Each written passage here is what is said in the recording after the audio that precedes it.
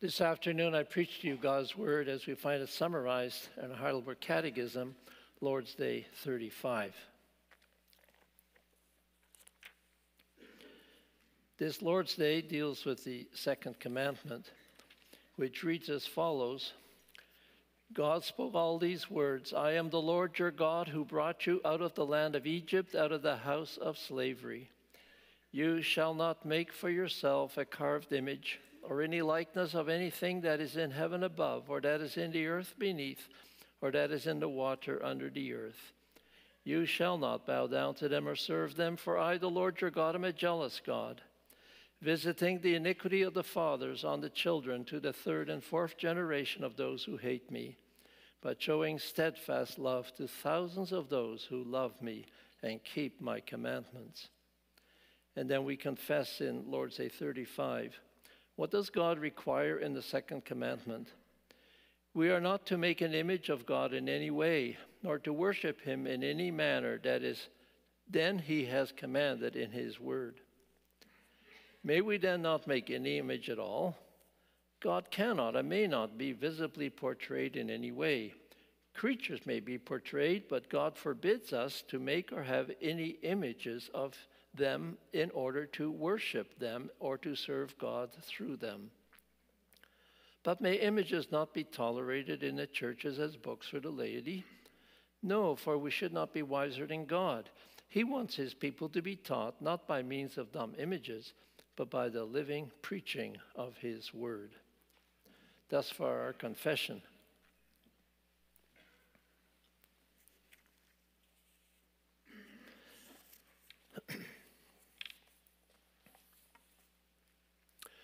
Beloved congregation of our Lord Jesus Christ, the first and second words of the covenant or commandments are closely related. They both deal with our basic relationship to God. And yet, although they're closely related, they are distinct, they are different. The first word of the covenant is, No other gods before me. That is, have no one but the Lord as God. He is the only one that you must serve. The basic meaning and intent of the second commandment is different. It deals with the question of how. How do we conceive of this God, the only true God? How do we approach Him? How do we worship Him? How do we go through life with Him? For all of life should be a life of worship and adoration for His mercies and salvation. And so this commandment deals with images. We can therefore say, how do we picture this God so that we give him glory and honor that is due to him? Yes, how do we picture him so that we can go through life with our God in a life of worship that is acceptable to him? So that is the heart of this commandment. And the Lord's directive is Make no image of me, says the Lord. So let us consider what the Lord our God means with this. So, our theme for the proclamation this afternoon is that God prohibits the making of an image of himself because, first of all, he does not want to be made according to our image. And secondly, he does desire to make us to make us according to his image.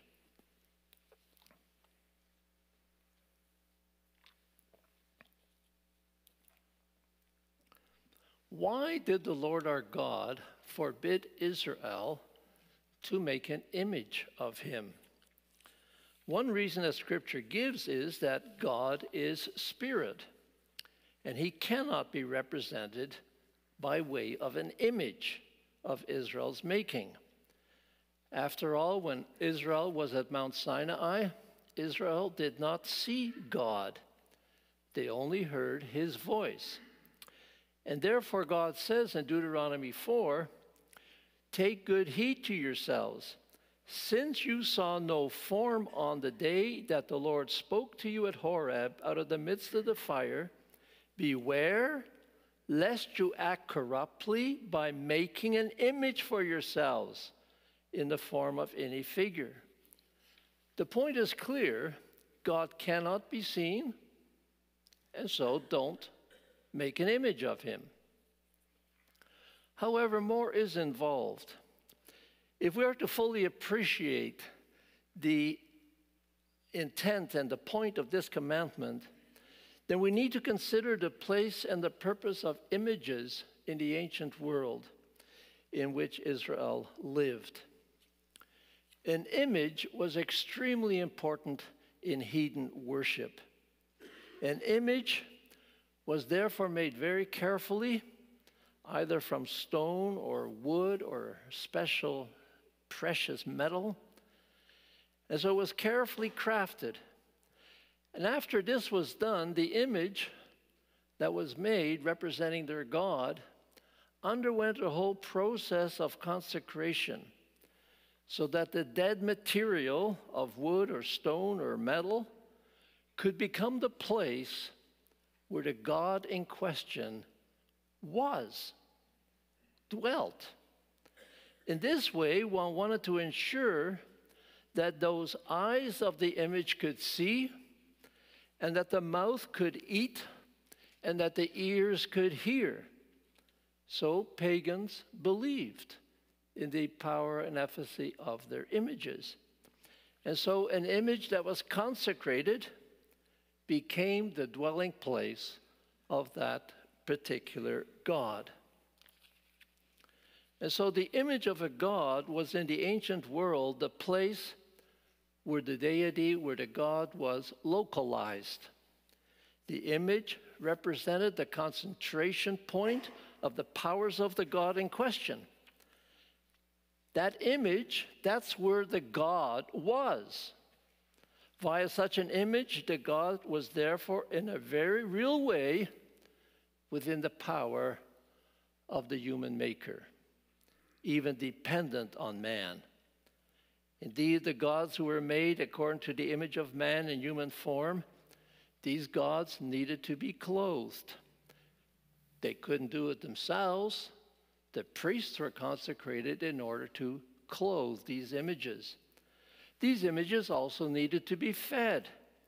And so elaborate meals were prepared, and the food was placed in front of the god twice a day. The priests would come after a couple of hours to eat the leftovers. They ate very well. These images, these so called gods, were in every sense of the word dependent totally on man's care and in man's control. And not only were they clothed and fed, these images were also taken on trips, boat rides, hunting. The God in question was totally dependent on man. This also means, on a more sinister basis, that they could be manipulated to suit human wishes. And indeed, unscrupulous priests manipulated these gods to suit their purposes. There's much evidence of that. Yes, such a God, made by humans, consecrated by humans, fed and clothed by humans, was totally in the control of those who made them.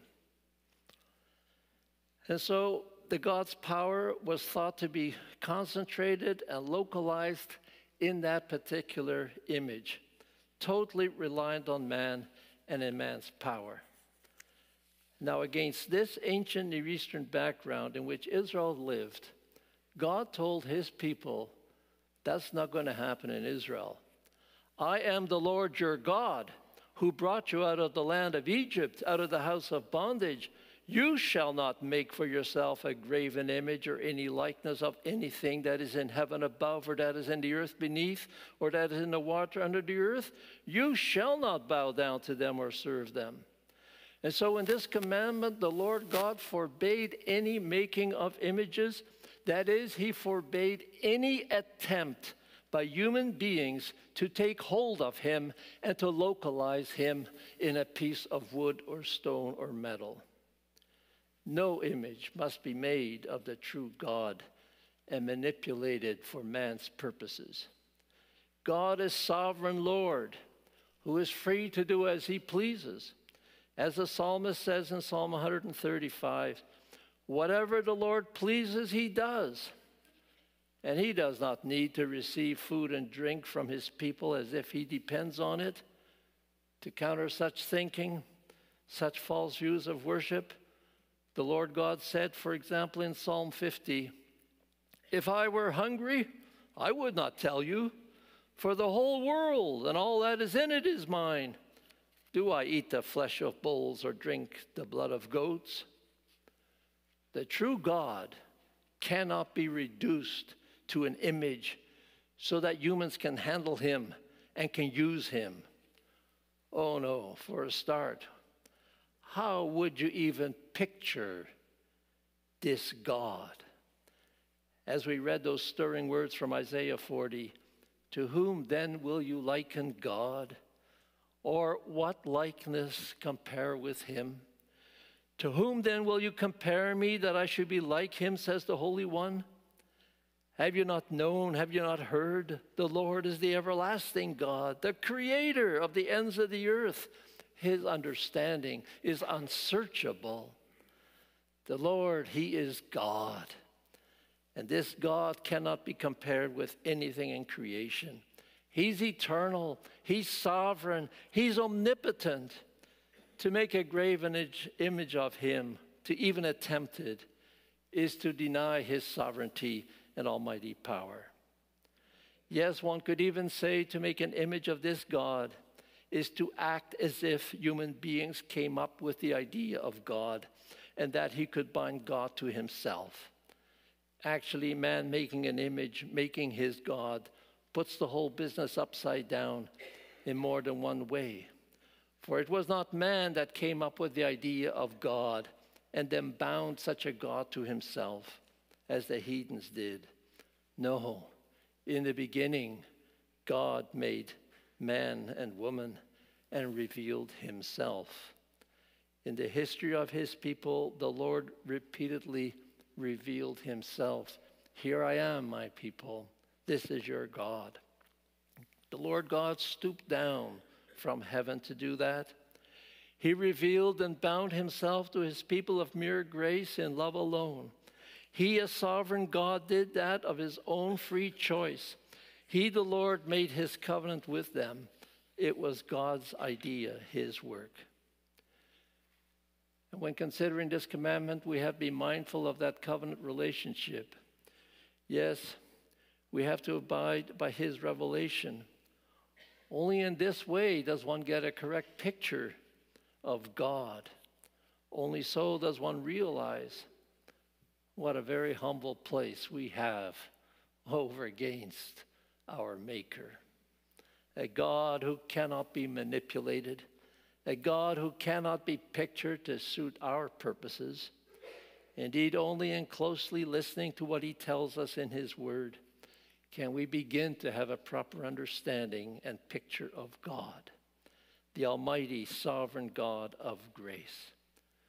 Only then for if we rely on our own insights and ideas of what God is like, if we are to come up with our own image of God, then we would come up with a very distorted idea indeed. Think of Israel impatiently waiting at the foot of Mount Sinai for Moses to come down. They were afraid that they were being abandoned by Moses and maybe even by God. And so they wanted to make an image of God to make sure that God would not desert them so that could, they could clutch on to God and keep him close by. And you know, when they wanted to make an image of God, the best they could come up with was a golden calf. That's the best they could do to represent their God who delivered them out of the land of Egypt. A rather distorted picture of God, to be sure. God cannot be measured or represented by man and pictured by him. God forbids it, because man's picture and image of God would always do grave injustice to who he is sovereign, covenant Lord. Now, the images and pictures of God that are forbidden do not just include physical images of wood, stone, or metal. When the second commandment refers to these type of images as the worst sort of image making, there is also included other attempts by self centered man to picture God and to make an image of him that suits his purpose. Think, for example, to take a historical example, the image of God which Judaism and the Pharisees made for themselves. They constructed a picture of God who, in many ways, was like a super accountant, constantly busy checking the credits and debits of life's balance sheet. The Pharisees put God in the service of their view of the law of earning salvation rather than listening to God and putting themselves in the service of God's thankfulness for the salvation given. So they manipulated God, they fashioned an image of Him which was far from a true reflection of who God is. They, in this way, bound the people, the church of those days, in servitude to a God who was not the God of Scripture. The Roman Catholic Church has also constructed and still constructs similar images of God, which lay behind all the images and superstitions in that so called church. A picture of God is then made which serves man's purposes and which is determined by man and not by God's word. Pictures and images arising from a sinful creation and bound by it. They should have taught God's people by the living preaching of the word, which directs men to the living God and not to serve images. Now, when you stop for a moment to think this through, it becomes more and more clear that this commandment also has a lot of relevance for us. Even though we don't have a golden calf, and even though we reject the image making of the Roman church, our hearts are also by nature inclined to evil inclined to making images of God which are not biblical. So the question we must therefore ask ourselves in all honesty is could we be picturing God in such a way that he's more suited to our purposes rather than being scrupulously faithful to how God reveals himself in Scripture? So, what sort of an image do we have of the living God? Is it an image that enables us to use God for our own ends? You know, it's very easy to do that.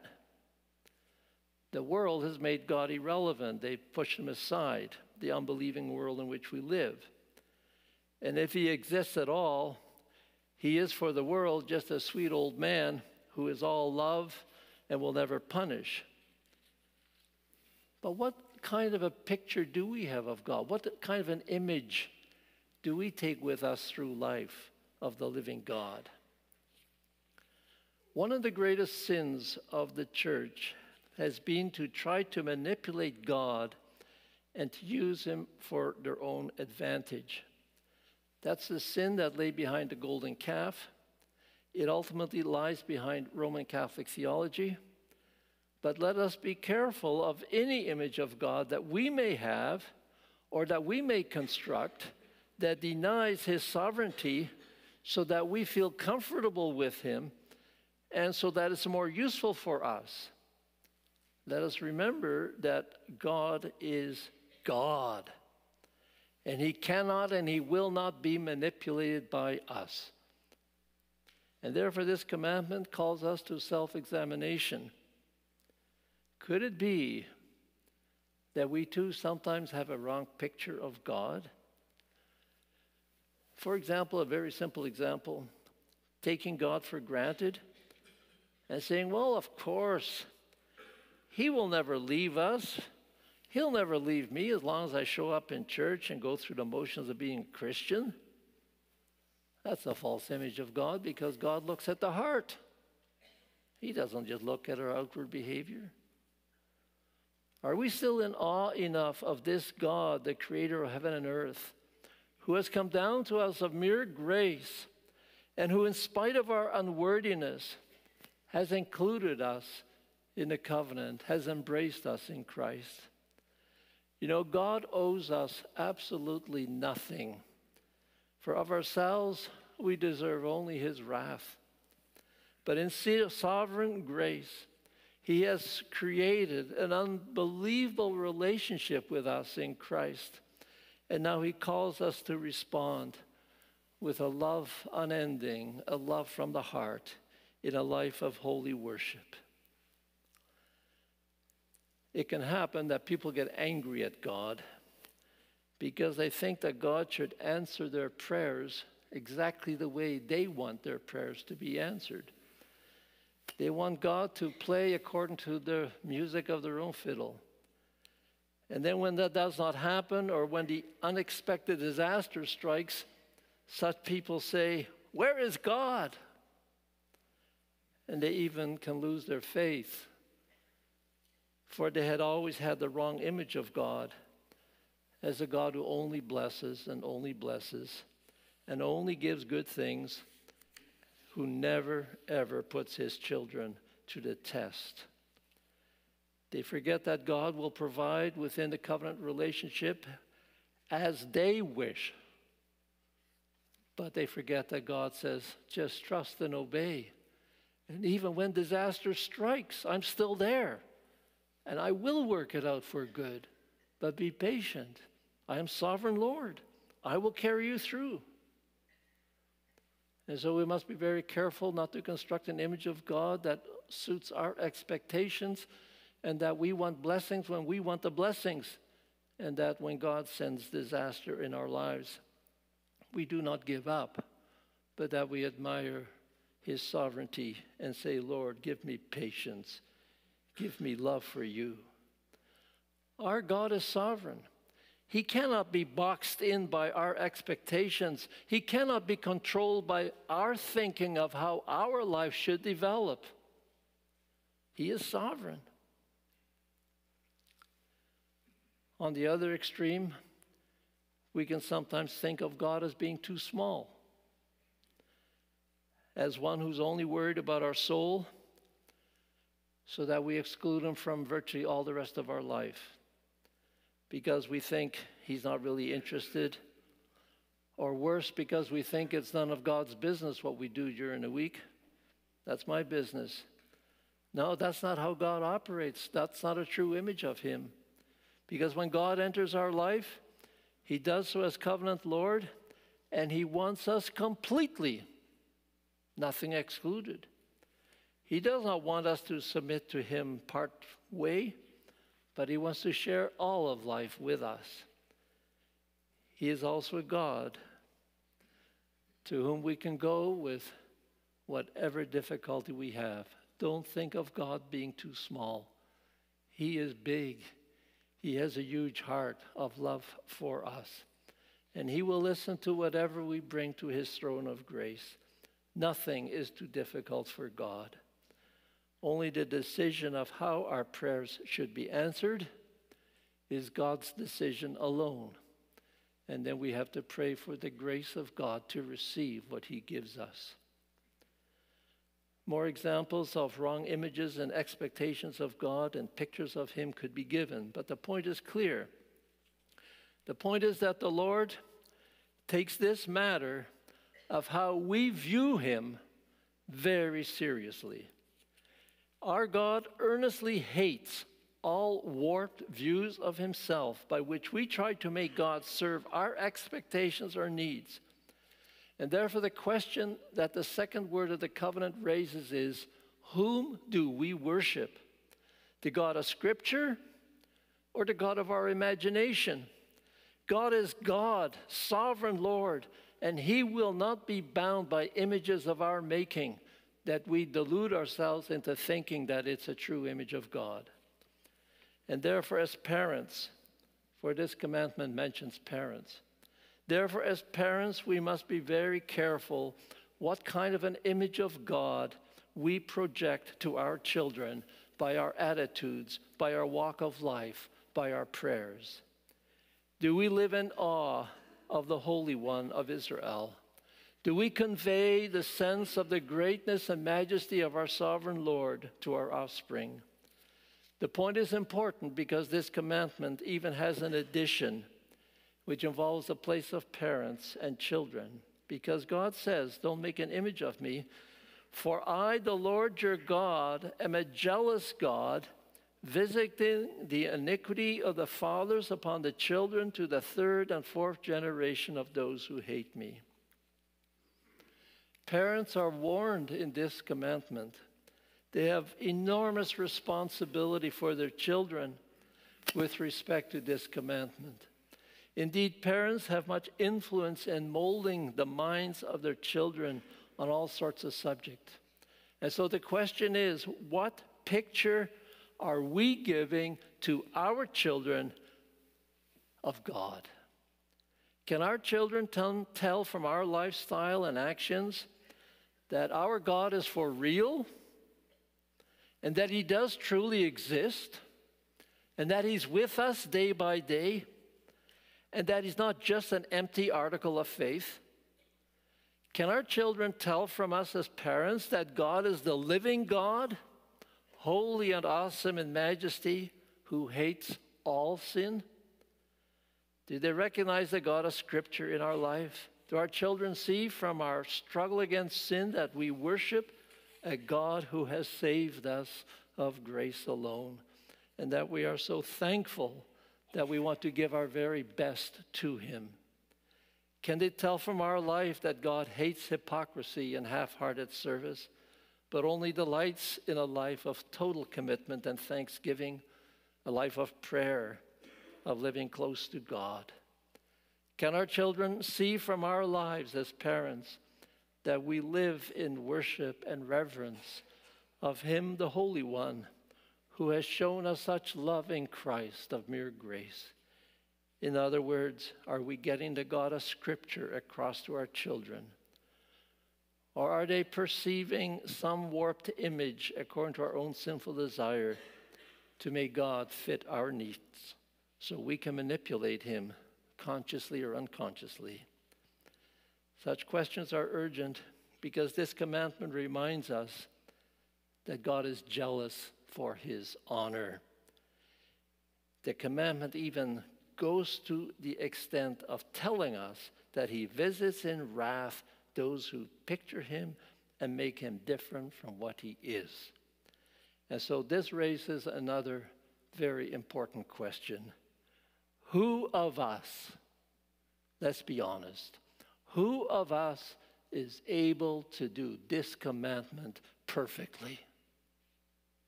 who is able to pass on to the offspring a true image of the God of Scripture, a true reflection of God's glory, so there's no misinterpretation of who God is for our children. Are we by nature not bound to mold and picture God from our own sinful, creaturely perspective? Is it not natural that we conceive of God in terms of ourselves and our desires and our small view of life? Who is able to give a true picture of the God of the covenant, the God of love and the God of wrath, the God of jealousy and the God of mercy? Well, the answer is obvious. Not a single one of us can do that. It is impossible we cannot project to our children of our own account a true image of God. We're unable.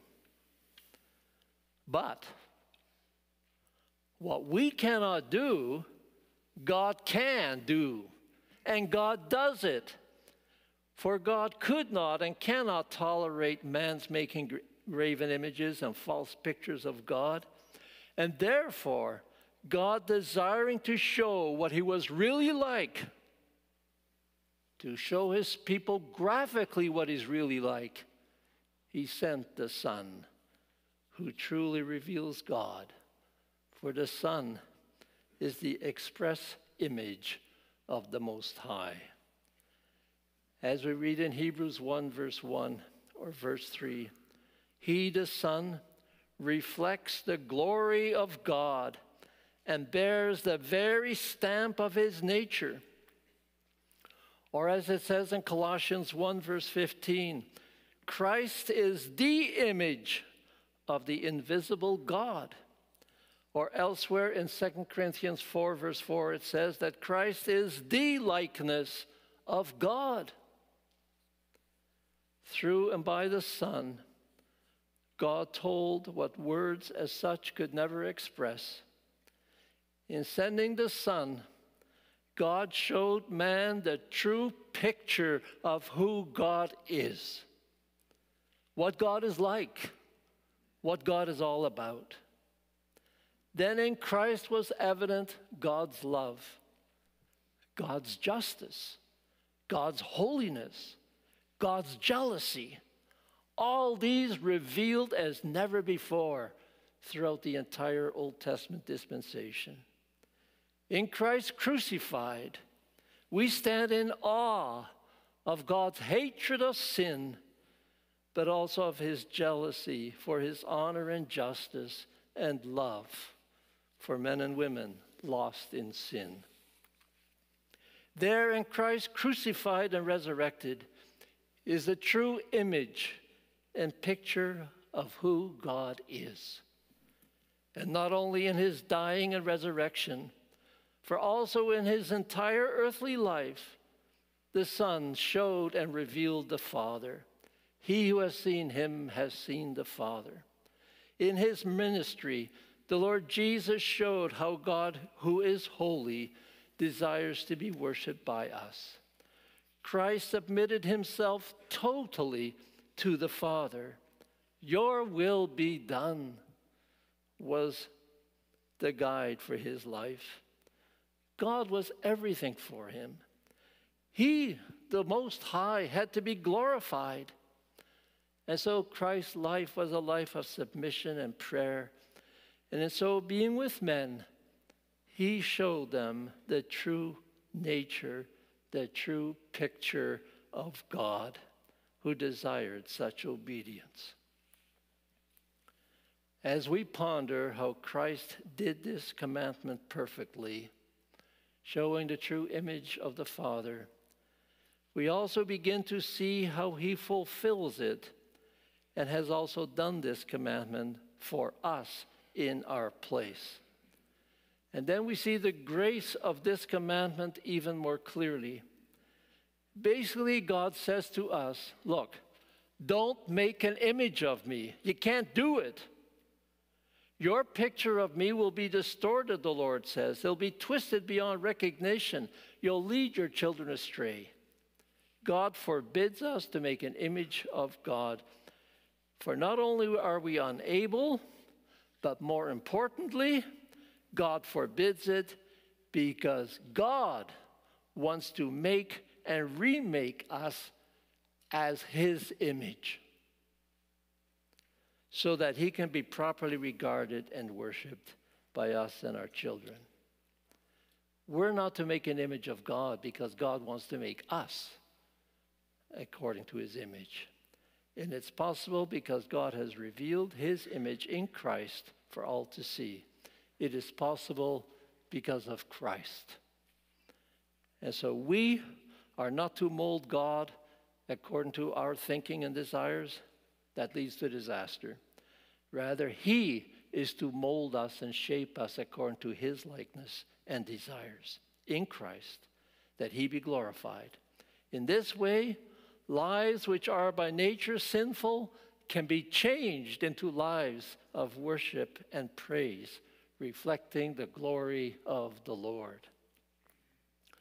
As God first made man in his own image in the very beginning, he now recreates human beings, young and old. He recreates them by His Word and Spirit, and He makes us His image in Jesus Christ. Christ, who is the true image of God. Surely, this is the miracle of the love of our God. He makes us, you and I, His image, so that a true picture of the one holy God can be present here on earth, and so that God can truly be worshiped and glorified. And then others can see through our life and lifestyle something of God, of what He's like, something of His true image as Holy Covenant Lord and Redeemer. Now then, are we getting the right picture across? In Christ, it's possible to be a true image of God, to be a true image of God in our homes and in the world around us. Yes, it's possible because it's all part of God's work of salvation in our lives. It's His work as He molds us and shapes us by His Word and Spirit. And the Catechism rightly mentions the Scriptures. They are very important in this context, for it's precisely in the reading and listening to the Scriptures that we become molded into God's image that we are shaped and influenced by the desires and wishes of the Most High. Only by a constant interaction with the Scriptures through the power of the Holy Spirit do our sinful pictures of God become replaced by the true image of the God of Scripture, the sovereign Lord who cannot be molded and shaped by sinful human beings, the God who has taken hold of us to make us His image the God who wants us to picture before others the beauty of the Lord, his love for sinners, his hate of sin, his grace, and his wrath. When our Lord God so mercifully shapes and molds us as his image, then our life is saturated with the Spirit of Jesus Christ, who is the express image of God and then God's image is seen in us. And then God gets his due and is glorified. And then our life is a life of worship and communion with God, walking with him in the deepest and most beautiful sense of the word. And then the second commandment becomes more and more a word of grace and a word of hope in a life of gratitude and worship. For we more and more realize God's grace in forbidding us to picture God according to our own sinful insights and wishes. He forbids us so that God can show himself in Christ and show picture to us who he really is, and so that he can also shape and mold us according to his image.